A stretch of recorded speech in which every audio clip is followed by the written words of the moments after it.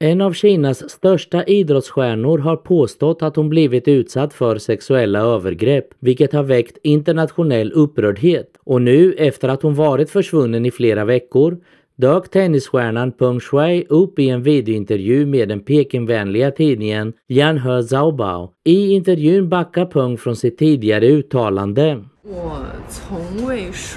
I have never said or written that anyone sexually assaulted me. This point must be emphasized very clearly.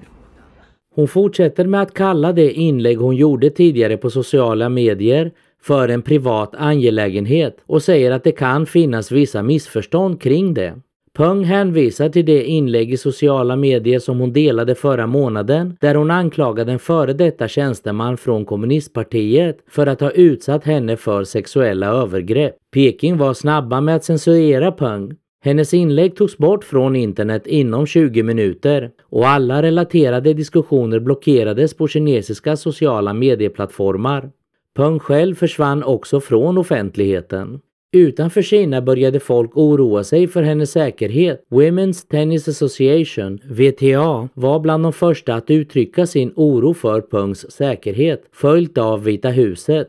We are deeply concerned by reports that Peng Shuai appears to be missing after accusing a former PRC senior official of sexual assault. We join in the calls for PRC authorities to provide independent and verifiable proof of her whereabouts and that she is safe. Efter den internationella oron publicerade medarbetare från kinesiska statskontrollerade medier videoklipp av Peng som bevis på att hon lever och mår bra. Men VTA var inte övertygade. Som svar på Pekings censur ställde VTA in alla sina turneringar i Kina. Ett beslut som kan kosta organisationen hundratals miljoner dollar.